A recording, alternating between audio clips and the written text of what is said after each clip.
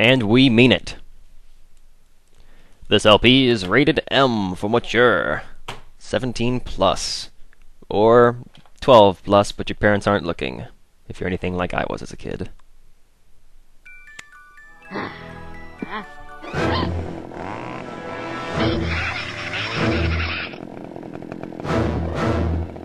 Stupid logo. Yeah, that's better. Can get it.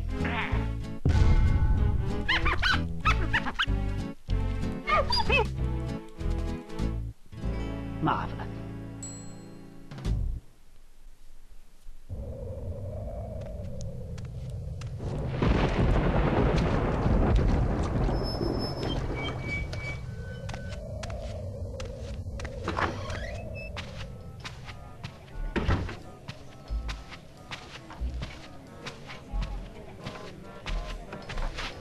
What's up, everybody?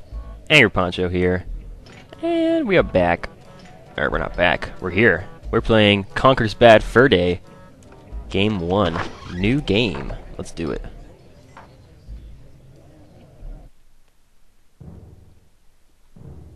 I gotta say, this game is pretty freaking awesome. Uh, I hadn't played it at all as a kid, which of course is kind of obvious from the maturity of the game, but I played it for the first time a couple months ago, and it was hilarious. It was so funny that it immediately went on my potential LPs list because it was a fun, intuitive platformer, and it had some great humor. Uh, if you know anything about my sense of humor, I really like British humor, dry humor, absurdist humor, and this game has a lot of it. It is so funny. It's very dark, very very vulgar, but man, it's good.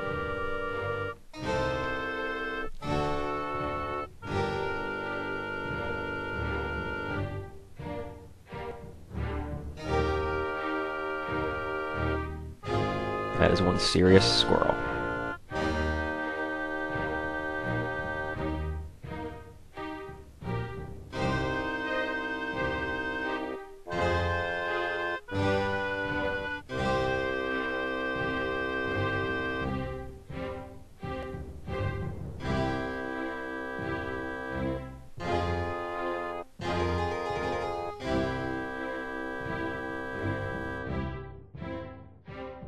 Well, there I am. Conker the king. King of all the land. Who'd have thought that? But how did I come to this, I hear you say? And who were those strange fellows that surround my throne? I hear you also say.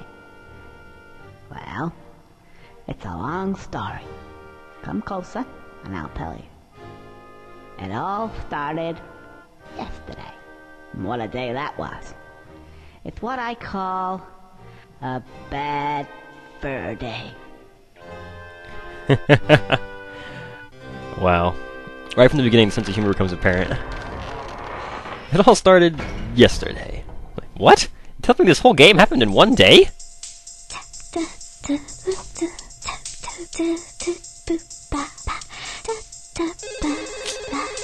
Them pixels.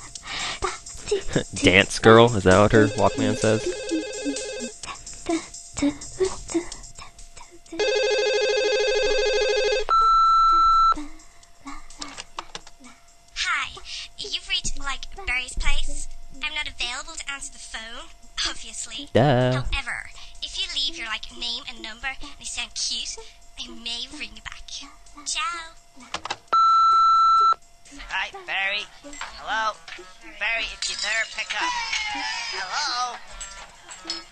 anyway. Look, I'm gonna be a bit late. Well, met up with a couple of the guys and they're off tomorrow to some, I don't know, fight some war somewhere. Anyway, um, I'll see ya. Lo- love you. Mwah, mwah. I think she bought it. Conker! Put the phone down! Oh, uh, right. Whose round is it? Yours! What, again? Okay. Can someone lend me a fiver? Uh, uh, I don't feel so good now. You guys enjoy yourself and all that, and I'll probably see you sometime next week. I gotta go home. I'll, I'll go this way. Oh, oh, no, that's the toilets. Well, go this way. Yeah, that's better. Off to a great start for our protagonist, stumbling out of a out of a bar, drunk, middle of the night. Oh, it doesn't look too good tonight. Ooh, ooh. hang on a sec. Uh.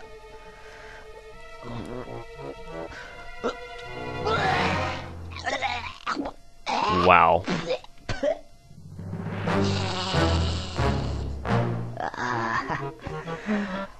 Sorry about that, old chap. Gotta go.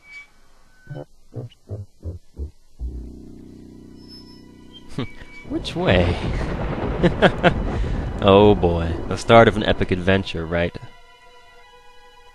That's how they always begin. No, it's not even close. Nice, nasty. Hmm. Can't quite make it out. Anyway, it seems pretty familiar to me.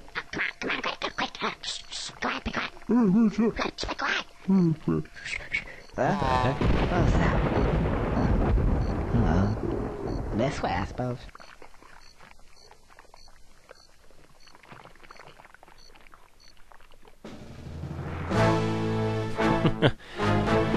Oh, dramatic music. Time to introduce the primary antagonist. Or at least that's what a normal game would do.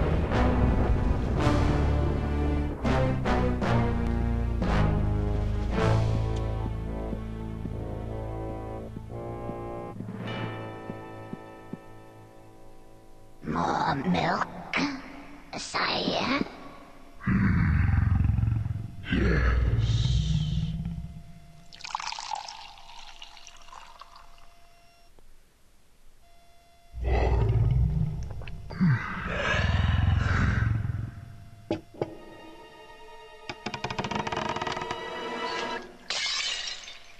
And thus the antagonist is introduced.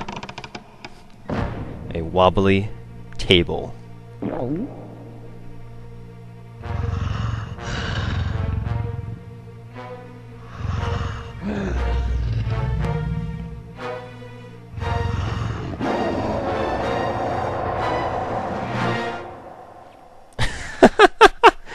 I think it's so funny that he drinks milk. I, I get that he's a big jungle cat, but it's almost when you first when I first saw it, I was like, oh man, why they gotta have him drink milk? I mean, you know it's a beer. And then I remembered, wait a minute, Conker just got wasted in a bar. They don't have any problem showing beer in this game. They gave him milk because they wanted him to have milk. Oh no. It's gonna be one of those days. A bad fur day.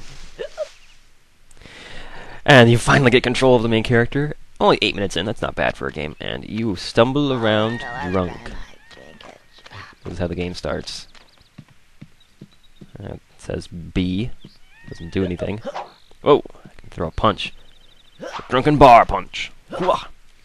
Really, I mean, what game starts out starts you out with your character having a massive hangover? who does who does that? Who does that? And that's that's the kind of question you're going to be asking this entire LP. Who does that? Right? It's just so it's so absurd. It's hilarious. And this this game makes several parodies of various movies, some obvious, some subtle, and its humor never ceases to to amuse. So you stumble around over here and talk to this guy, this scarecrow over here. What's that? What's that? Hey, hey. Uh, who are you? Oh, hello. Can you help me? Ugh, ugh. I I need to get home and go to bed because I don't feel very well at all. Uh, no. No. Oh, so you can't help me at all. Uh, actually, yeah.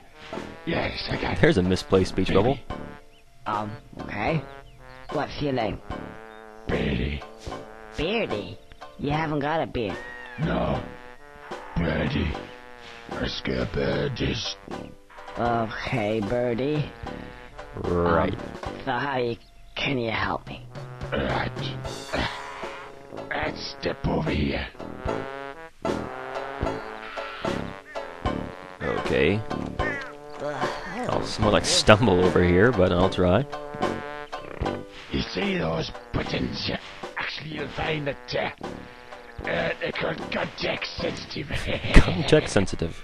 and uh, uh, well, actually, they uh, uh, press B. Press B. Oh yeah, the light comes on, uh, and it makes this nice ting, right? A ting noise. You guys ting. There, no, ting. That's it. That's it? Yeah. Okay, I'll press B. they don't even make an attempt to maintain a fourth wall. You can see the scarecrow. He takes a couple words to try and say, "Well, you you got it in press B." Just just press B. Context sensitive. Huh. I don't mind if I do.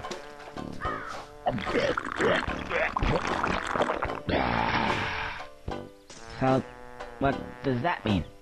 It means contact sensitive. It's sensitive to contacts. Try over there. Okay. I Right. can try it again. I don't think so, man. Thanks for your help. Notice the sign. Oh, Alright, press B. Ah, Alka-Seltzer. Good thinking. Oh, just what I needed. Do, In fact, do, It would seem to me what I that these need. give me just what I need at that moment in time. Context sensitive. Ah, I see what he means. Context sensitive. Clever. Oh, I feel a loads better. Right, let's get out of here. Oh, and by the way, if for whatever reason you want to skip all these wonderful cutscenes, then just press the L button. I won't be but doing that. you will have to have watched them at least once. Alright! Woohoo! Wait a minute, how do I... Oh, I don't have my abilities yet. I forgot they give them to you slowly. Wah! You punch people in the face, and you can jump with the A button. B normally punches. Those those platforms, I guess you call them context-sensitive spots, they... See, how does... Swimming. I guess you just push in the direction you want to go. There's no, uh... There's no button to make things easier for yourself. You can't paddle any faster. you notice the water wings? Pretty good, huh? Oh, I can't seem to get any further. I'm sure there was something. Ah, yes, now I remember. Hold the Z button down, and I should crack. Okay. Now then, what was it? Oh, yeah. Press A to jump extra high. Yep. Then A again to do that funny helicopter tail thing. Now that makes me hover. Hmm. I should easily get across that gap. Yep. You'll find. Um, are you sure you got that? Got it, Conker. You'll find that you don't need to use the L button trick very often. Your AA is basically a double jump. You do this helicopter tail thing. If you need to, you can crouch first, jump a little higher, just like in Mario. But you're not going to get as much forward momentum if you do the crouch one, you have to stop to do it. What's in here? Can't open that. Okay. Go up here. Start out in this little tutorial zone. You don't actually do a whole lot here. Now be careful in this game. It's it's a, the, the, the, detection on how far you are off the edge of a platform can be a little wonky. So occasionally you might have a hard time. Bam! Go up here and pull this lever. You might need to hit A a little bit sooner than you would in say a Mario game because the detection is just written oh so slightly differently. It just requires you to jump a little bit sooner than you might be used to. Anyway, zip on in here. Trying to find our way back home. Lord knows what that. Oh, are we locked in now? We have a boss fight? No, not in this video. Hey, there's a key. Come here, you. Oh, dude. Come here, you key. Hey, hey, hey. What? Hang on. There's something missing here. Didn't I have a...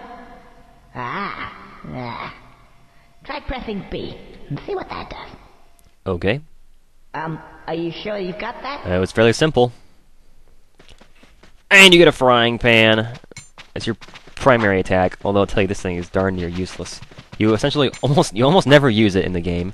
You have to stop to swing it. You can't swing it while you're moving.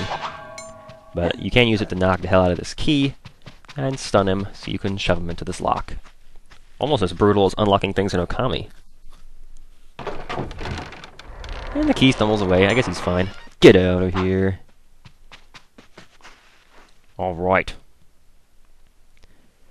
Alright, we need to go back up this bridge. This is not the way to our house. We need to go up and out of here. Bum, bum, bum, bum, bum.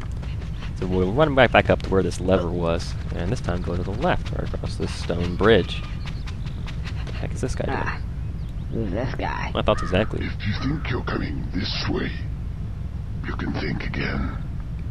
Oh, you're a real charmer. I just want to get past, please. No, I don't think so. I've only just got comfy. Have you ever sat on a piece of Gothic architecture for 200 years? Gets right up your arse, you know. Thought it was about time to move on to a bridge, say. And I'm not moving now. Isn't it a little bit early in the day to start talking about Gothic architecture? Well, if you care to come a bit closer, we can discuss things of another nature. Okay. What's up? Dude! What the hell? Gratuitous violence. And down the shaft we go. Well, that was fun. Anyway, you run into this hole and you appear behind where you started. So, no real loss there. Alright, I think that's all for this episode of Let's Play Conker's Bad Fur Day. In the next episode, we're going to head back up to that piece of gothic architectural crap, that gargoyle up there. But how will we convince him to move? Will we ever find our way back home? And why do all the first person views have horrible texture glitches? Find out next time on Let's Play Conker's Bad Fur Day.